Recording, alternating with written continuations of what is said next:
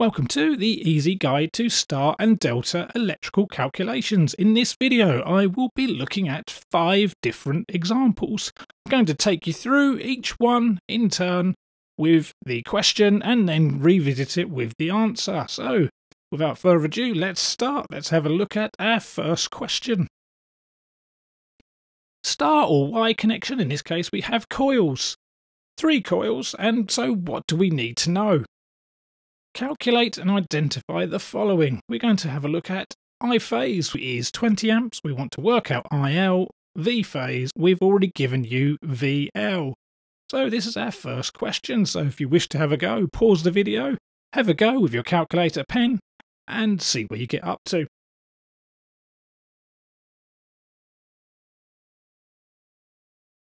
In the meantime, let's have a look at question two before we come back and have a look at the answers. Here's a delta connection. This time the delta connection is consisting of three resistors. Not that it matters. It's just a calculation. It's all we're going to apply. So what do we need to do? Calculate and identify the following. I phase 43 amps. We don't know what IL is, but we need to identify where it is. V phase, we're going to work it out. And VL in this case is 220 volts. So again, pause the video, have a calculation, see how you get on, and then come back and revisit, see what answers you've got. In the meantime, let's have a look at question one and see what you did. Star and Y connection. So there we go. There's what we needed to do. What do we need to identify? Well, there's I phase. It's in the phase winding. IL round the corner is in the line. VL voltage between the lines. I've shown L1 to L2, but you could equally picked up the other two as well. It doesn't matter. Therefore, V phase is from the end of a winding to the star point. Remember, you do not need a neutral. But if you had got one, it could be the line to the neutral. That would also be V phase. So we need to work out the line current because we have the phase current. Well, IL equals IP. So therefore, it's 20 amps because we've already been given it. So IL is 20. The next one we need to do is VL and VP. Well, we've already been given VL. VL equals 480 volts, so we need to rearrange this formula. Therefore, V phase equals VL divided by the square root of 3. We can put the figures in. 480 divided by root 3, and that gives us a phase voltage of 277 volts. So I hope you're successful and got those answers. And if you have, let's move on and move on to the next question, which was question three. We'll come back to question two. So this is another star or Y connection. So what are we asking this time? Calculate and identify the following. So I phase, IL, V phase, VL. So I've told you nothing in this case, not down the bottom anyway, but if we look at the question up on the drawing, we can see the current is 15 amps and R equals 8 ohms. So there's some information. We need to fill in the rest. So pause the video, get your pen, get your calculator, give it a go. In the meantime, let's go back and answer question two. So we had those already given to us, the phase current and the voltage line. Let's identify what we've got. There's the phase current there's another phase current, and I've shown them going out. You could show them going in, it makes no odds. Just be consistent. And there's the IL in the line. I've shown it in L1, but you could show it in any of the others. The phase voltage will be across the phase resistors in this case from one point to the next. Therefore, VL is between any two lines. It doesn't matter, so which one you've shown on really doesn't matter. What we need to do now is fill in the missing answers.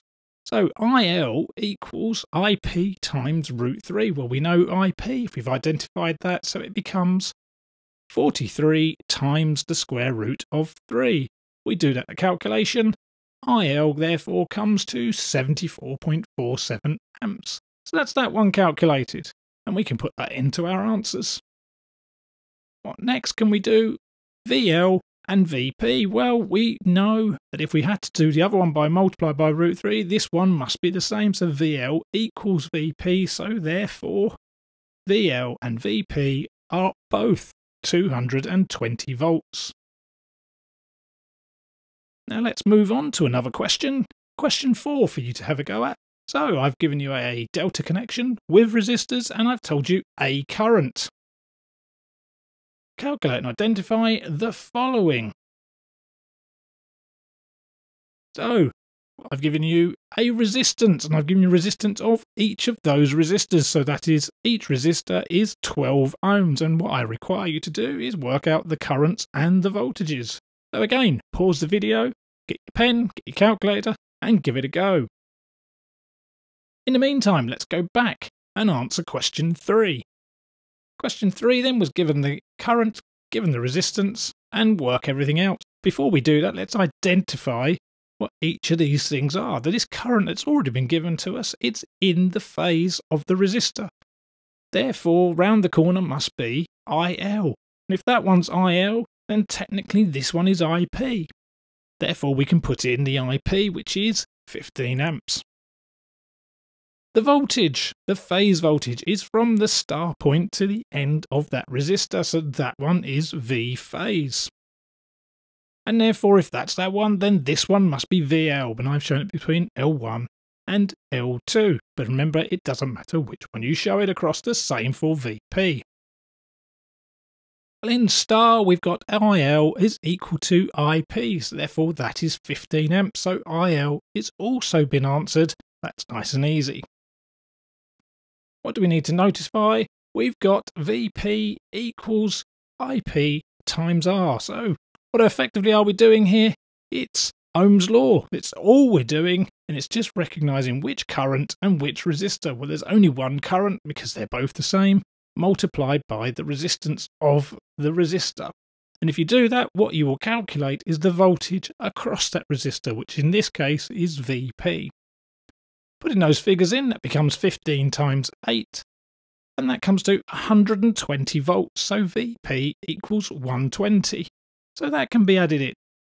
At least one left to do, and that is VL. So what formula is it? Well, VL is larger than VP. How much larger? It's root 3 larger.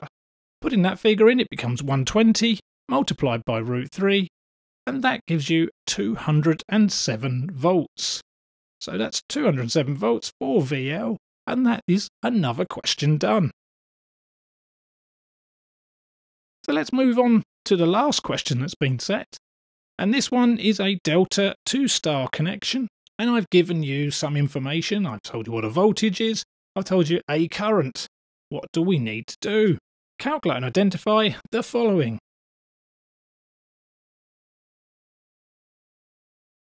So basically, everything. Pause the video, grab a pen, grab a calculator, and give it a go. In the meantime, let's go back and answer question 4, a delta connection, where I gave you resistors in delta and 28 amps. Let's identify everything. So the phase voltage will be across the end of the resistor. And I've shown that particular one, but it doesn't matter which one you show, but that will be a phase voltage. VL is across any line. Again, I've shown you L1 and L2, but again, it doesn't matter. I phases I've shown in here in those two resistors, but you could equally show them anywhere else, as long as they're in that particular part of the circuit. And if they're I phase, that means that one must be IL, so IL is 28 amps. So we need to work out I phase. Well, if IL is larger than I phase, so that becomes IL divided by the square root of 3. We put the figures in, that becomes 28 divided by root 3. That gives us 16.16 amps. And we can put that in. Moving on, VP equals I phase times R. So we're back to Ohm's law again because we didn't have any of the voltages, but we do have a current and we do have a resistance. And if we multiply the current going through a resistor by the resistor, you will get the voltage across the resistor. So effectively, we've got I phase times the resistance gives us V phase. So 16.16 times 12. And that gives you an I phase voltage of 194 volts. And that can go in. I fill both in. The reason for that is that V P equals VL in delta. So we've found all the voltages there. Now let's go and look at the final answer to question 5. So we had to calculate everything in this one. So we need to identify what's what. Well, let's have a look at the phase voltages and we can identify those in both of them. Remember, it's across each phases, so that's in star and delta. VL. There it is, identified, it's between any of the lines, and that will apply to both. Therefore, the voltage that has been given is also a line voltage. A line current is the one that's been shown because it's in the line itself, so we have IL. And we can identify the phase currents now. There are three to identify that I've shown. Two in the delta, but you could show any of them. And then one obviously just going into the resistor into the star. So that identified I phase. So that's pretty much all of those identified. It just leaves us to calculate them. So IL we've got in delta is 13 amps. And that will also be the same for IL in star. And because I phase equals IL in star, that means the phase star current is also 13 amps. So that's identified those and no calculation, it's just simply recognition. VL in delta is 325. VL in star will also be 325. In delta, V phase equals VL, so therefore that will also be 325. To find the phase current in delta, it is I phase equals IL divided by root 3. That becomes 13 divided by root 3, and that gives us 7.5 amps. So in the delta connection, we have 7.5 amps in each part of that phase. That leaves one more to do, and that is the V phase in star. So V phase equals VL divided by root 3.